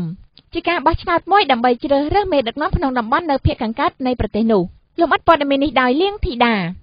សហរដ្ឋអាមេរិកកាលពីថ្ងៃទី31ខែតុលាបានប្រកាសជាថ្មីថាខ្លួននឹងមិនទទួលស្គាល់ការបោះឆ្នោតនៅភាគខាងកើតប្រទេសអ៊ុយក្រែនដែលក្រុងធ្វើនៅថ្ងៃអាទិត្យចុងសប្តាហ៍នេះជាដាច់ខាតក្រៅពីនោះប្រទេសបារាំងអាល្លឺម៉ង់និងសម្ព័ន្ធអង្គការ NATO ក៏បានថ្កោលទោសដូចគ្នាចំពោះការបោះឆ្នោតដែលប្រកាសធ្វើដោយក្រុមឧទាមគាំទ្ររុស្ស៊ីដែរបើតាមអ្នកនាំពាក្យក្រុមប្រឹក្សាសន្តិសុខជាតិសិទ្ធិវិមានបានបញ្ជាក់ក្នុងសេចក្តីថ្លែងការណ៍ថាអាមេរិកសូមសម្ដែងការសោកស្ដាយយ៉ាងខ្លាំងចំពោះការប្រកាសចង់បោះឆ្នោតរបស់ក្រុមឧទាមបះបោដើម្បីជ្រើសរើសមេដឹកនាំរបស់ខ្លួននៅក្នុងតំបន់ Donetsk និង Luhansk ប្រសិនបើសកម្មភាពនេះអាចធ្វើឡើងមែននោះច្បាស់ណាស់ថាវានឹងខុសច្បាប់រដ្ឋធម្មនុញ្ញនិងច្បាប់ក្នុងប្រទេសអ៊ុយក្រែនហើយអ្វីដែលសំខាន់គឺបំពេញទៅលើកិច្ចព្រមព្រៀងដែលបានចុះកាលពីថ្ងៃទី5ខែកញ្ញានៅក្នុងទីក្រុងមីនប្រទេសបាល់ឡារុសកន្លងមកអ៊ុយក្រែនអាល្លឺម៉ង់និងបារាំងបានជំរុញកុំឲ្យប្រធានាធិបតីរុស្ស៊ីលោកប្លាឌីមីពូទីនទទួលស្គាល់ការបោះឆ្នោតនេះឲ្យសោះ ប៉ុន្តែទីក្រុងម៉ូស្កូហាក់ត្រៀមខ្លួនជាស្រេចស្វាគមន៍ចំពោះការបោះឆ្នោតរីឯប្រធានាធិបតីអ៊ុយក្រែនលោកប៉េរ៉ូសិនកូក៏បាននិយាយដែរថាការបោះឆ្នោតជ្រើសរើសមេដឹកនាំរបស់ក្រុមឧទាមនៅភាគខាងកើតប្រទេសនឹងបង្កភាពរង្គោះរង្គើដល់ដំណើរការស្វែងរកសន្តិភាពបញ្ចប់ភាពតានតឹងនិងអំពើហិង្សាដែលសម្លាប់មនុស្សជិត4000នាក់នៅក្នុងរយៈពេលជាង6ខែនេះគូបញ្ជាក់ផងដែរថាភាពចម្រូងចម្រាសក្នុងតំបន់ភាគខាងកើតប្រទេសអ៊ុយក្រែន នៅមិនទាន់បានដោះស្រាយនៅឡើយទេទោះបីជាស្ថានភាពស្ងប់ស្ងាត់បន្តិចមែនក្រុមឧទាមដែលប្រឆាំងរដ្ឋាភិបាលអ៊ុយក្រែននៅតែប្រកាន់ចំហមិនព្រមទទួលស្គាល់និងស្ថិតក្រោមការគ្រប់គ្រងរបស់រដ្ឋាភិបាលក្រុងគៀវដដែលដូច្នេះទើបពួកគេសម្រេចចិត្តរៀបចំការបោះឆ្នោតជ្រើសរើសមេដឹកនាំរបស់ខ្លួនដើម្បីពង្រឹងចំហតទល់ទៅនឹងលោកប៉ូរ៉ូសិនកូក៏ដូចជាសហភាពអឺរ៉ុបបន្តទៀតចាស់លោកអ្នកនាងអ្នកស្ដាប់គីទីមេត្រីយើងនឹងបិទបញ្ចប់នៅព័ត៌មានអន្តរជាតិថ្ងៃនេះស្ដីពី លោកអនុសេនីយ៍ប្រទេសបួគីណាហាហ្វសូបានប្រកាសនៅថ្ងៃទី1ខែវិច្ឆិកានេះថាលោកនឹងចូលកាន់អំណាចបណ្ដោះអាសន្នដើម្បីស្ដារស្ថានភាពឡើងវិញការប្រកាសនេះគឺធ្វើឡើងបន្ទាប់ពីមានការតវ៉ាទម្លាក់រោគប្រធានាធិបតីចេញពីតំណែងជាបន្តសូមស្ដាប់សេចក្តីរាយការណ៍ពីពេញភេង បន្ទាប់ពីមានការតវ៉ាពីប្រជាជនរាប់ពាន់នាក់ដើម្បីទម្លាក់ប្រធានាធិបតីបូគីណាហ្វាសូលោក Blaise Compaoré ចេញពីតំណែងនៅថ្ងៃទី1ខែវិច្ឆិកានេះលោកអនុសេនីយ៍តូ Colonel Isaac Zida បានប្រកាសថាលោកនឹងចូលកាន់អំណាចនៅក្នុងនាមជាប្រមុខរដ្ឋដើម្បីរៀបចំស្ថានភាពឡើងវិញលោកបានបន្តទៀតថានៅក្នុងរយៈពេលដែលមានភាពចលាចលកើតឡើងបញ្ហាជាច្រើនក៏បានលេចរូបរាងឡើងធ្វើឲ្យប្រទេសធ្លាក់ក្នុងភាពវឹកវរយ៉ាងខ្លាំង ដូច្នេះដើម្បីជាការទទួលខុសត្រូវលោកនឹងចូលខ្លួនជាប្រមុខរដ្ឋអន្តរកាលដើម្បីធ្វើការផ្លាស់ប្តូរលទ្ធិប្រជាធិបតេយ្យឲ្យដើរបានដោយរលូននិងដើម្បីដោះស្រាយបញ្ហាផ្សេងទៀតបំណងប្រាថ្នានៃការចង់ផ្លាស់ប្តូរលទ្ធិប្រជាធិបតេយ្យរបស់យុវជននៅក្នុងប្រទេសប៊ូគីណាហ្វាសូគឺពិតជាអាចធ្វើទៅបានគ្មានការក្បត់ឬក៏ធ្វើឲ្យពួកគេខកចិត្តឡើយចំណែកឯលោកប្រធានាធិបតីក៏ត្រូវជំនះចេញពីក្រុងអូកាដូកូហើយដែរនេះបើតាមការបញ្ជាក់របស់លោកស៊ីដាប្រាប់ដល់អ្នកសារព័ត៌មាន គួររំលឹកដែរថាពាក់ព័ន្ធទៅនឹងការតវ៉ាទម្លាក់លោកប្រធានាធិបតី Black Compaoré នេះគឺដោយសារតែប្រជាជនចង់ធ្វើការផ្លាស់ប្តូររបបគ្រប់គ្រងរបស់លោកព្រោះថាបរិសខ្លាំងម្នាក់នេះគឺបានគ្រប់គ្រងប្រទេសរយៈពេល27ឆ្នាំមកហើយក្រុមបាតកោដែលជាប្រជាជនបាននាំគ្នាសម្រុកចូលសភានិងការិយាល័យផ្សេងទៀតហើយបាននាំគ្នាយកភ្លើងទៅដុតរថយន្តដើម្បីទាមទារទម្លាក់លោកប្រធានាធិបតីរូបនេះនៅទីបំផុតទៅលោកក៏បានជម្លៀសខ្លួនចេញពីក្រុងព្រោះមិនអាចទ្រាំទ្រនឹងការបះបោររបស់ប្រជាជនបាន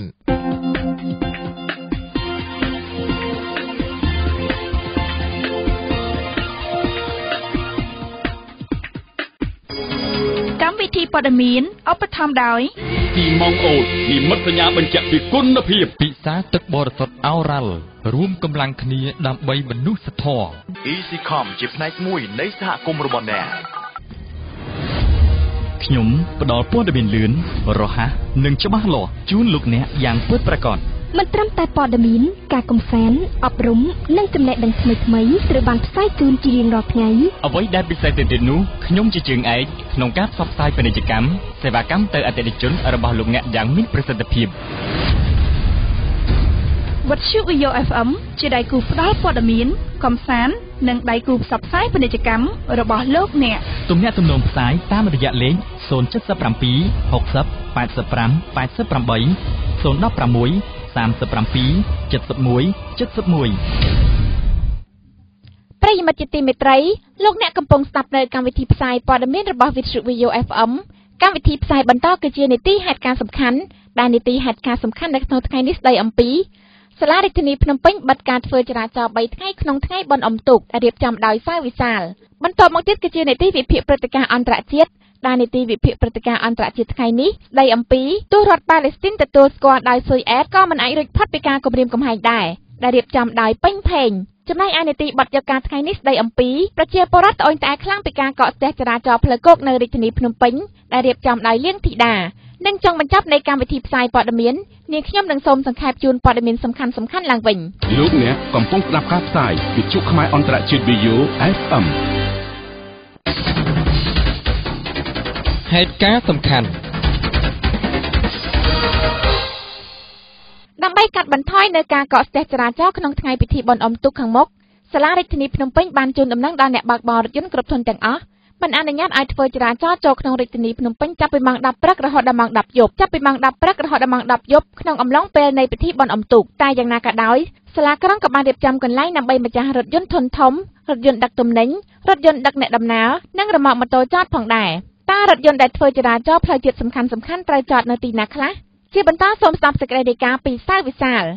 យោងតាមសេចក្តីជូនដំណឹងរបស់សាលារាជធានីភ្នំពេញចុះថ្ងៃទី31ខែតុលាឆ្នាំ2014បានប្រកាសប្រាប់ដល់អ្នកបើកបរយានយន្តគ្រប់ប្រភេទទាំងអស់ថាសាលារាជធានីនឹងមិនអនុញ្ញាតឲ្យរថយន្តគ្រប់ធុនធ្វើចរាចរណ៍ក្នុងរាជធានីភ្នំពេញចាប់ពីម៉ោង10ព្រឹករហូតដល់ម៉ោង10យប់ក្នុងឱកាសពិធីបុណ្យអុំទូកអអំបុកនិងសំពះព្រះខែចាប់ពីថ្ងៃទី5ទី6និងទី7ខែវិច្ឆិកាខាងមុខនេះ ដើម្បីរក្សាសន្តិសុខសណ្ដាប់ធ្នាប់និងដើម្បីជៀសវាងការកកស្ទះចរាចរណ៍សេចក្តីជូនដំណឹងដដែលបានបង្ហាញថាច្រកផ្លូវទាំងអស់ដែលចូលរាជធានីភ្នំពេញនឹងត្រូវបិទចំណែកឯរថយន្តដែលធ្វើដំណើរចូលរាជធានីភ្នំពេញវិញសាលាក្រុងនឹងរៀបចំកន្លែងដើម្បីឲ្យម្ចាស់រថយន្តធុនធំរថយន្តដឹកទំនិញរថយន្តឈ្នួលដឹកអ្នកដំណើរនិងរ៉ឺម៉កម៉ូតូចតផងដែរ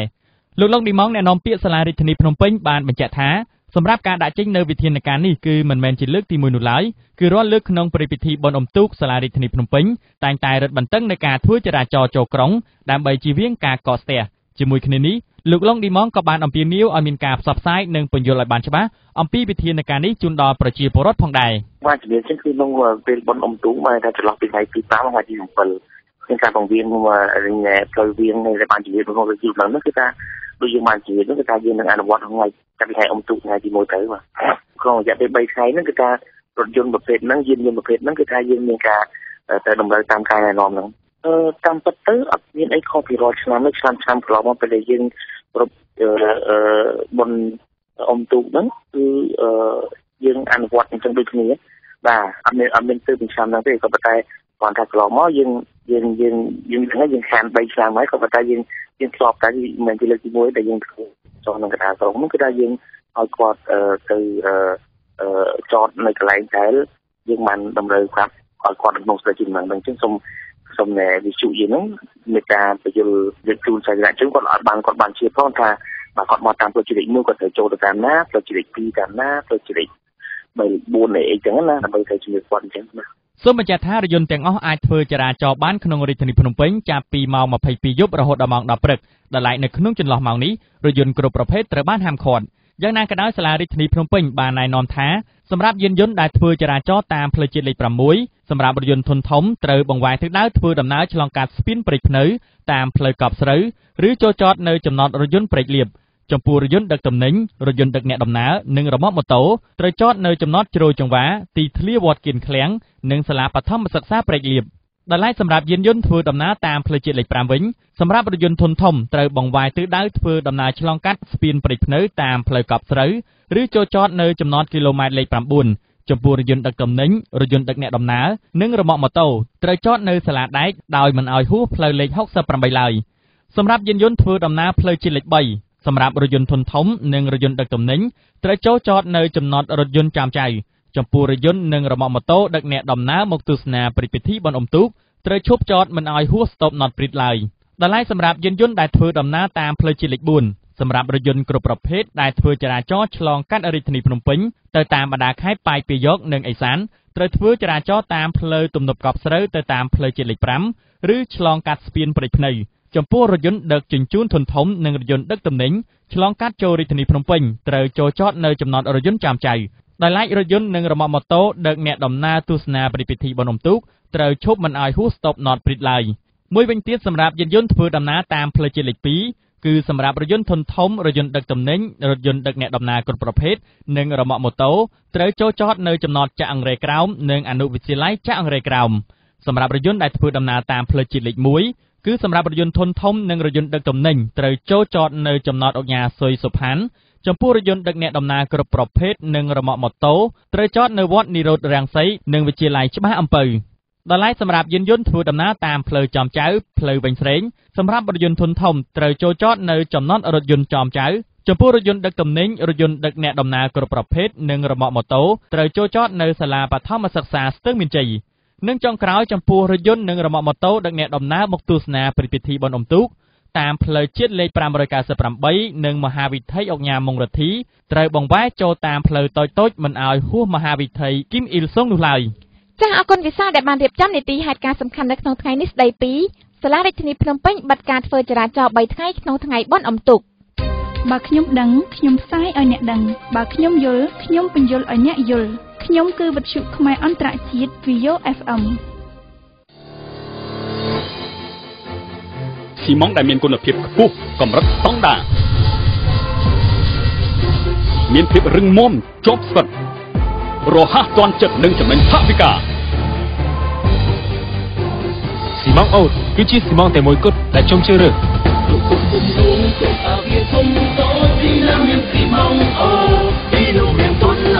ស៊ីម៉ងអូតនិមិត្តសញ្ញាបញ្ជាក់ពីគុណភាពព័ត៌មានឈានមុខវិទ្យុខ្មែរអន្តរជាតិ VO FM នីតិវិភាគព្រឹត្តិការណ៍អន្តរជាតិនៅក្នុងនីតិវិភាគព្រឹត្តិការណ៍អន្តរជាតិថ្ងៃនេះពេញភ័យនឹងធ្វើបទសម្ភាសន៍ជាមួយលោកសុកទូចដែលជាអ្នកតាមដានស្ថានភាពនយោបាយនិងជាអ្នកវិភាគមួយរូបនៅក្នុងប្រទេសកម្ពុជាពាក់ព័ន្ធនឹងបញ្ហានៅក្នុងរដ្ឋប៉ាឡេស្ទីនកន្លងមករដ្ឋប៉ាឡេស្ទីននិងអ៊ីស្រាអែល ធ្លាប់មានចំនួនជាមួយគ្នាយូរមកហើយដោយអ៊ីស្រាអែលចង់ឲ្យអ៊ីរ៉ាក់ដាក់រដ្ឋប៉ាឡេស្ទីនស្ថិតក្រោមការគ្រប់គ្រងរបស់ខ្លួនប៉ុន្តែប៉ាឡេស្ទីនវិញចង់ផ្ដាច់ខ្លួនជារដ្ឋឯករាជ្យដូច្នេះប៉ាឡេស្ទីនបានព្យាយាមយ៉ាងខ្លាំងដើម្បីឲ្យមានអន្តរាគមន៍ពីអន្តរជាតិជារដ្ឋផលកាលពីពេលថ្មីៗនេះរដ្ឋាភិបាលស៊ុយអែតបានប្រកាសទទួលស្គាល់រដ្ឋប៉ាឡេស្ទីនហើយដោយនេះគឺជាឱកាសមួយអាចឲ្យប៉ាឡេស្ទីនក្លាយជាសមាជិករបស់សហភាពអឺរ៉ុបតែការប្រកាសទទួលស្គាល់រដ្ឋប៉ាឡេស្ទីនពីរដ្ឋាភិបាលស៊ុយអែតអាចធ្វើឲ្យប៉ាឡេស្ទីនរួចផុតពីការគំរាមកំហែងរបស់អ៊ីស្រាអែលដែរឬទេ តើអ៊ីស្រាអែលនឹងចាត់វិធានការចង់ផ្ដាច់ខ្លួននេះយ៉ាងណាដើម្បីឲ្យជ្រាបកាន់តែច្បាស់ពីព័ត៌មាននេះជាបន្តសូមប្រិយមិត្តស្ដាប់បទសម្ភាសន៍រវាងពេញភេងជាមួយនឹងលោកសុកទូចនៅក្នុងនីតិវិភាគព្រឹត្តិការណ៍អន្តរជាតិដូចតទៅបាទសូមជម្រាបសួរលោកសុកទូចបាទ បាទជំរាបសួរបាទបាទខ្ញុំសូមបញ្ជាក់លោកអ្នកស្ដាប់ថាលោកសុកទូចគឺជាអ្នកតាមដានស្ថានភាពនយោបាយនិងជាអ្នកវិភាគមួយរូបនៅក្នុងប្រទេសកម្ពុជា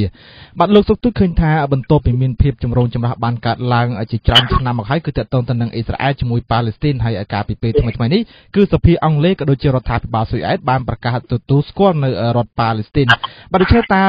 ដើមចំអ្វីខ្លះទៅដែលធ្វើឲ្យមានការទទួលស្គាល់នេះបាទ វារឿងកើតចេញមកច្រើនណាស់យើងដឹងហើយថាមានបើយើងមិននិយាយពីប្រវត្តិទេប្រវត្តិគឺកើតចេញមកអំពីអ៊ីស្រាអែលធ្វើសង្គ្រាមកាលពីទសវត្សរ៍ទី60ឆ្នាំ1964ហ្នឹងគឺដើម្បីបំបែករដ្ឋមួយប្រកាសទៅជារដ្ឋអឺអ៊ីស្រាអែលដែលមានការជួយគ្រប់គ្រងពីសហរដ្ឋអាមេរិកនិងសហភាពសូវៀតនៅសម័យនោះប៉ុន្តែយើងនិយាយអំពីថ្មីថ្មីនេះអឺ នៅពេលដែលអឺរ៉ុបប្រទេសអឺរ៉ុបមួយដែលប្រកាសទទួលស្គាល់ហ្វីលីពីនអឺនេះគឺប៉ាឡេស្ទីននេះសំទោសប៉ាឡេស្ទីននេះគឺជារឿងមួយអឺគោលថ្នាក់ណាស់សម្រាប់សហរដ្ឋអាមេរិកនិងសម្រាប់អ៊ីស្រាអែលពីព្រោះអ៊ីស្រាអែលធ្វើអ្វីៗទាំងអស់មិនចង់ឲ្យប៉ាឡេស្ទីនទៅជារដ្ឋឯករាជ្យនៅពេលណាវាទៅជាប្រកាសនៅជារដ្ឋមួយជារដ្ឋមួយជារដ្ឋអធិបតេយ្យមួយរដ្ឋឯករាជ្យមួយ មានការគ្រប់គ្រងតាមច្បាប់នៃអង្គការសហជីវជាតិមានការចូលអន្តរាគមន៍ជាសារវ័នរបស់អង្គការសហប្រជាជាតិហើយរាល់ការធ្វើគៀបសង្កត់ណាមួយរបស់អ៊ីស្រាអែលត្រូវបានអង្គការអឺនៃអង្គការសហប្រជាជាតិនឹងអាចដាក់គំនាបទៅអ៊ីស្រាអែលអញ្ចឹងអ៊ីស្រាអែលចង់ចងទុកឲ្យ ប៉ាឡេស្ទីនជារដ្ឋមួយជារដ្ឋគេថាជារដ្ឋចំណុះឬគេហៅសមនរដ្ឋបាទមិនចង់ឲ្យរដ្ឋឯករាជ្យទេតែអ៊ីស្រាអែល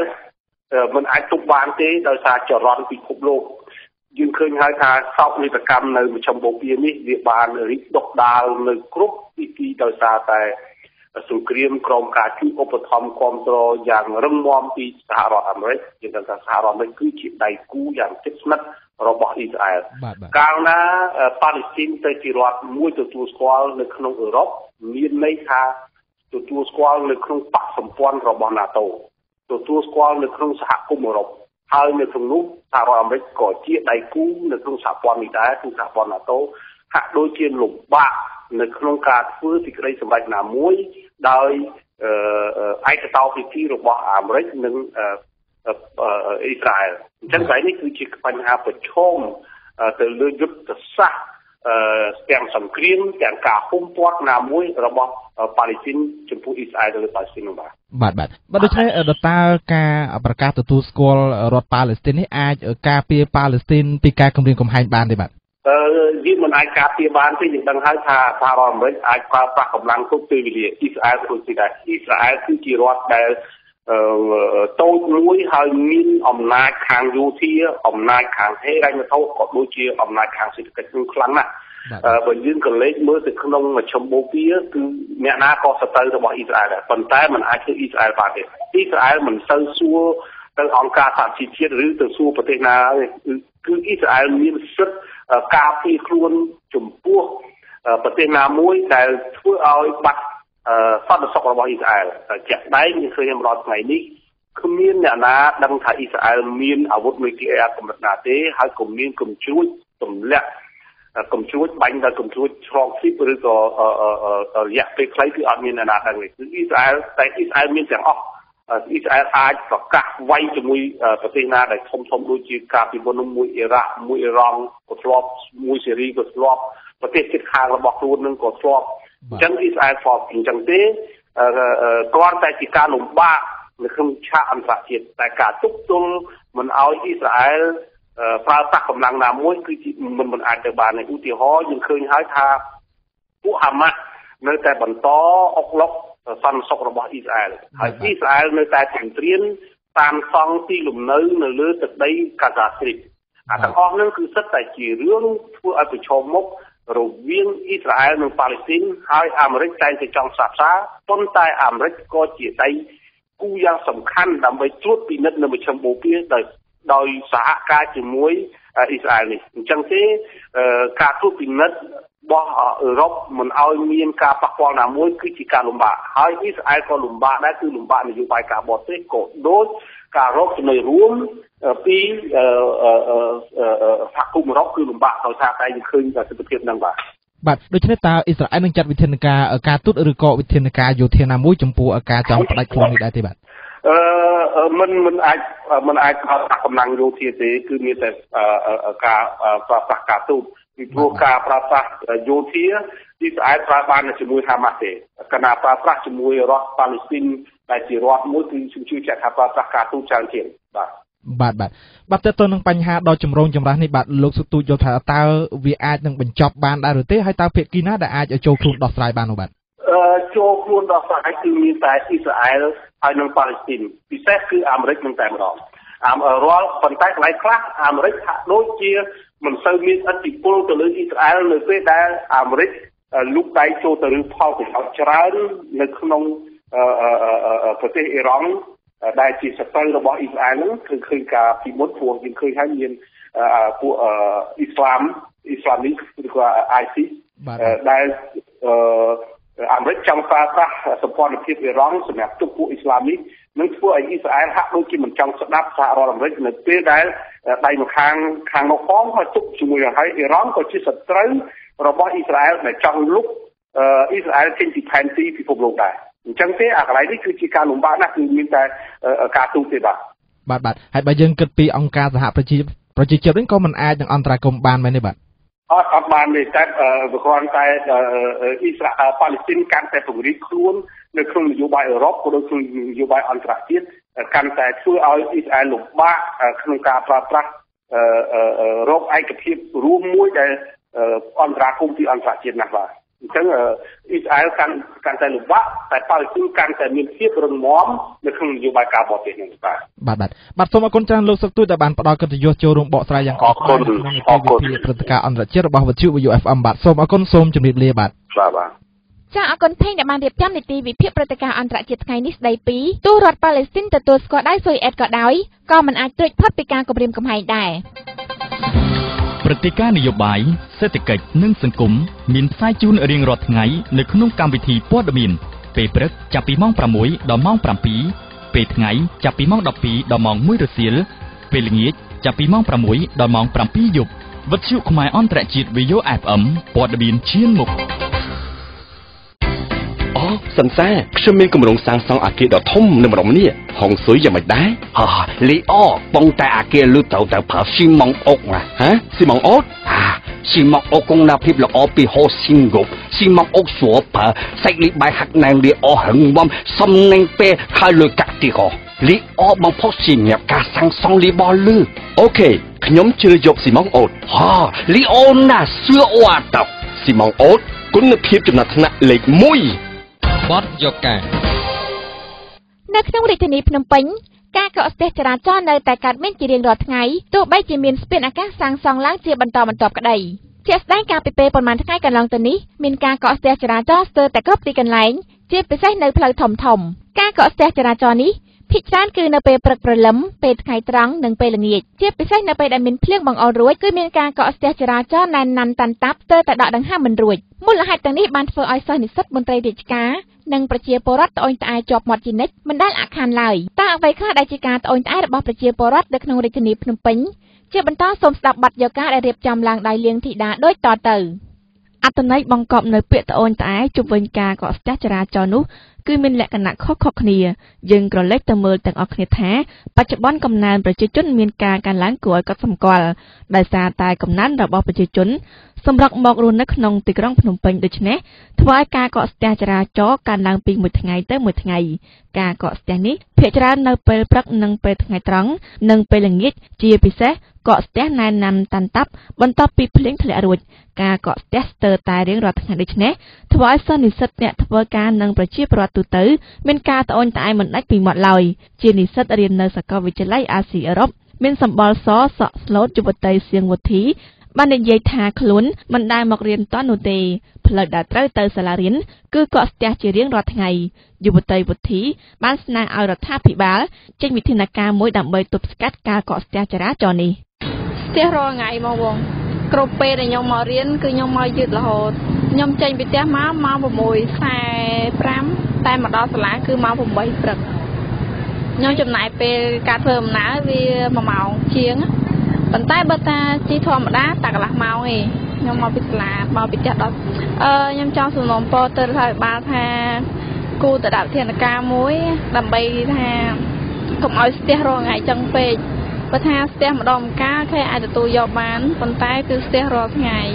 យុវជនផលវាសនារៀននៅសាកលវិទ្យាល័យធនធានមនុស្សរៀនឆ្នាំទី2បាននិយាយថាកត្តាដែលធ្វើឲ្យកកស្ទះចរាចរណ៍គឺមិនមែនដោយសារតែផ្លូវតូចចង្អៀតនោះឡើយមូលហេតុដែលកកស្ទះនោះមានដូចជាការចររថយន្តនៅតាមទីសាធារណៈការលក់ដូរនៅតាមចិញ្ចើមថ្នល់ជាពិសេសកកស្ទះនៅតាមផ្លូវកំពុងតែអភិវឌ្ឍរាល់ថ្ងៃនេះខ្ញុំឃើញមានការកកស្ទះយ៉ាងខ្លាំងនៅទីក្រុងភ្នំពេញហើយសម្រាប់ខ្លួនខ្ញុំផ្ទាល់ហើយនឹង សូមឆ្លើយប្រាប់ដល់ខាងរដ្ឋាភិបាលឲ្យមានការរៀបចំ ទីមួយខ្ញុំសង្កេតឃើញដោយសារការស្ទះចរាចរណ៍មិនមែនមកពីកត្តា តែផ្លូវទូចនោះទេ វាមានច្រើនករណីដែលខ្ញុំមើលឃើញជាជាក់ស្ដែងសម្រាប់ខ្លួនខ្ញុំខ្ញុំឃើញនៅតាមបណ្ដារេស្តូរ៉ង់ដងសាផ្លូវសាធារណៈគឺអត់មានការរៀបចំមានកន្លែងទុករថយន្តឲ្យបានធំទូលាយនោះទេ គឺយកថ្នល់សាធារណៈហ្នឹងសម្រាប់ទីចតរថយន្តសម្រាប់អីចឹងទៅ មានការកកស្ទះហើយជាចំណុចនេះគឺសំខាន់មែនតើហើយមិនតែប៉ុណ្ណោះខ្ញុំឃើញមានបណ្ដាធ្វើអាជីវកម្មគឺលក់ឡានតែម្ដងនៅតាមបណ្ដា ទីសាធារណៈបើសិនជាមានច្បាប់ខ្ញុំជឿថាមានច្បាប់ប៉ុន្តែហេតុអ្វីបានជាអមិនអនុវត្តអនុវត្តឲ្យមិនបានមានប្រសិទ្ធភាពទី1យើងត្រូវតែពង្រឹងទៅដល់កងសមត្ថកិច្ចនឹងឲ្យគាត់មានឆន្ទៈក្នុងការធ្វើការហើយឲ្យប្រទេសនៃកថាប្រតិភូកម្មគឺប្រទេសសិទ្ធិអំណាចទៅដល់គាត់នឹងឲ្យគាត់នឹងមានអធិពលក្នុងការនិយាយចំពោះជាទីសាធារណៈ ទី2នោះគឺខ្ញុំកលេចមើលឃើញគឺការថាបណាថ្មីថ្មីនេះការអភិវឌ្ឍដូចជាខាងផ្លូវនឹងធ្វើលូធ្វើអីអញ្ចឹងពេលដូច្នេះហើយមានការកកស្ទះយ៉ាងខ្លាំងប៉ុន្តែខ្ញុំថានេះគឺជាការអភិវឌ្ឍរបស់រដ្ឋាភិបាលដែរប៉ុន្តែសូមបង្កើនការអភិវឌ្ឍនេះឲ្យបានមានភាពលឿនបន្តិចព្រោះថាមួយថ្ងៃមួយថ្ងៃការចរាចរណ៍នៅក្រុងភ្នំពេញគឺកកស្ទះយ៉ាងច្រើនហើយប៉ះពាល់ទៅដល់ការងារក្នុងឬក៏ជាអាជីវកម្មប្រចាំ បន្ទាល់ខ្លួនរបស់គាត់ជាចុងក្រោយខ្ញុំសូមសំណូមពរដល់រដ្ឋាភិបាលសម្លឹងទៅមើលចំណុចដែលខ្ញុំបានលើកឡើងនេះត្រូវយកឆន្ទៈបំរើនឹងការពារហើយធ្វើម៉េចមានយន្តការល្អល្អដើម្បីបំរើរាជដើម្បីឲ្យប្រទេសយើងនឹងមានការអភិវឌ្ឍហើយមានភាពរីកចម្រើនទាំងអស់គ្នាហើយខ្ញុំសង្ឃឹមថាឆ្នាំ2015នេះសមារសមារណកម្មចូលដល់ កម្ពុជាមានការអភិវឌ្ឍដោយប្រទេសដទៃដែរយុវជនភោវិស្នាបានបន្ថែមទៀតថាខ្លួនមិនដែលទៅធ្វើការនិងទៅរៀនតនៅឡើយ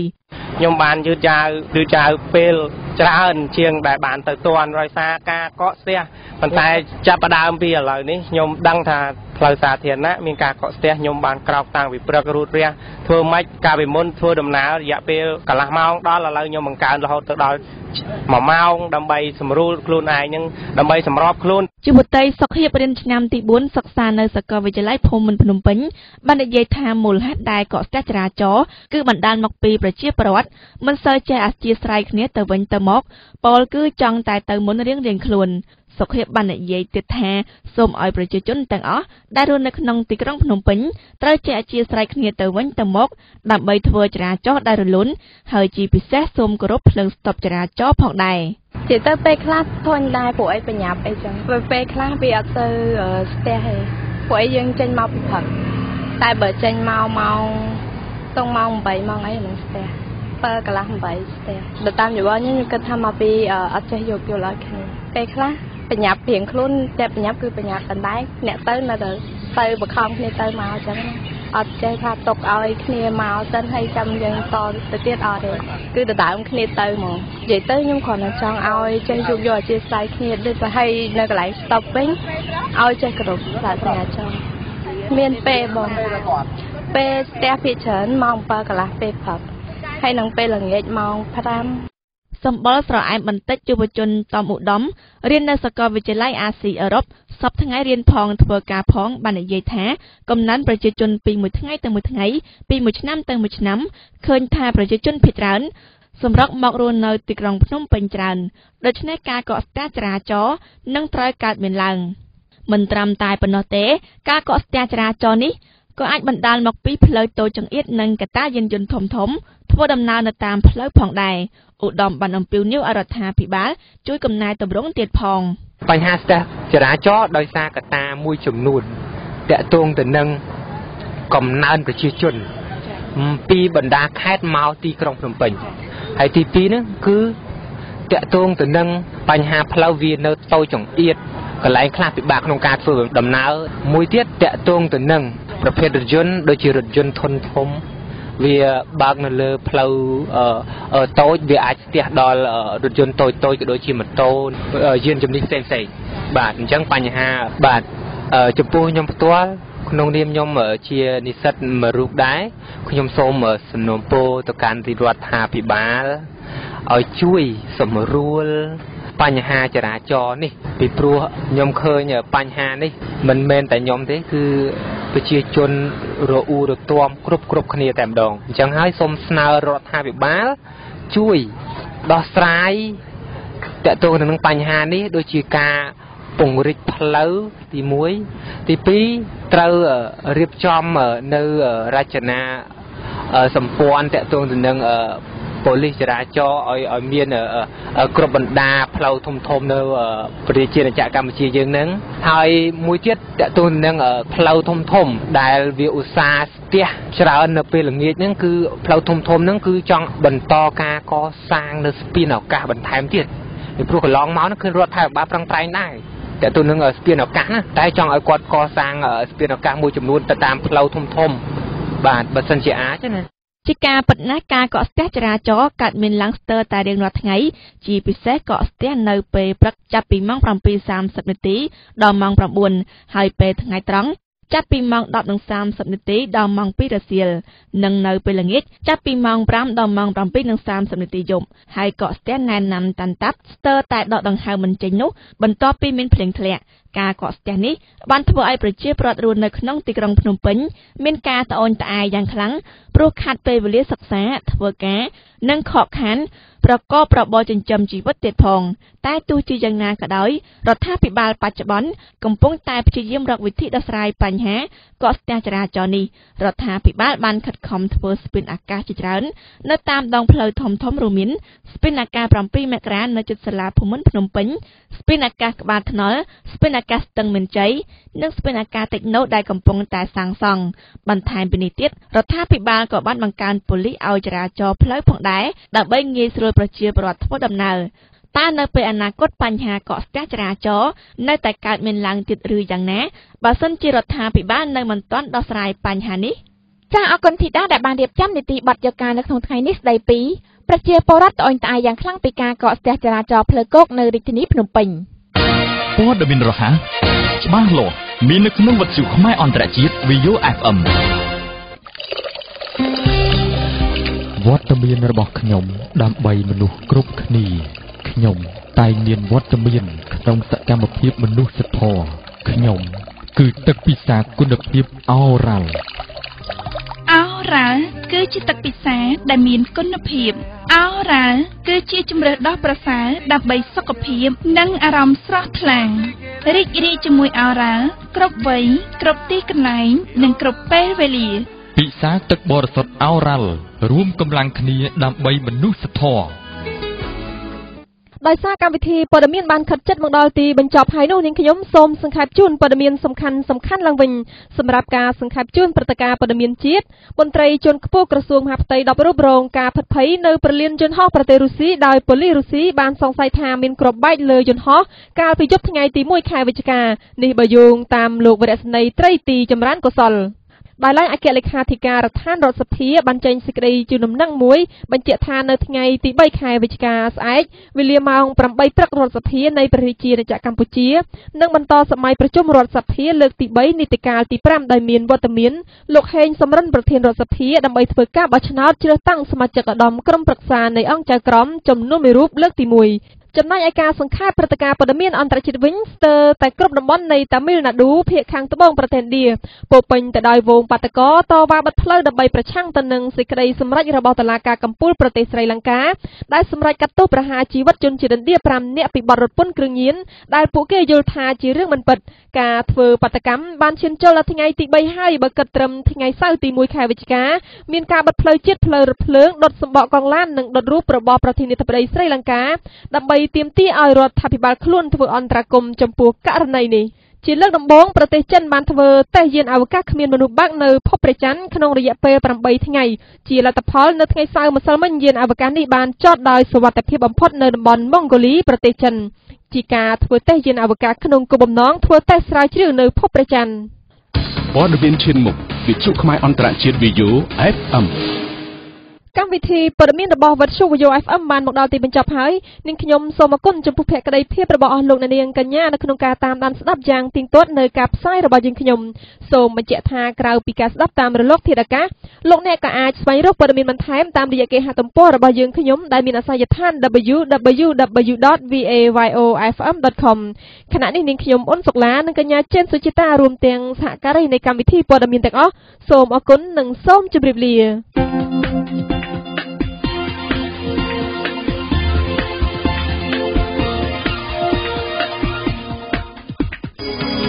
កម្មវិធីព័ត៌មានឧបត្ថម្ភដោយទីម៉ងអូតនិមិត្តសញ្ញាបញ្ជាក់ពីគុណភាពពិក្សាទឹកបរិសុទ្ធអូរ៉ាល់រួមកម្លាំងគ្នាដើម្បីមនុស្សធម៌ EasyCom ជាផ្នែកមួយនៃសហគមន៍របស់អ្នក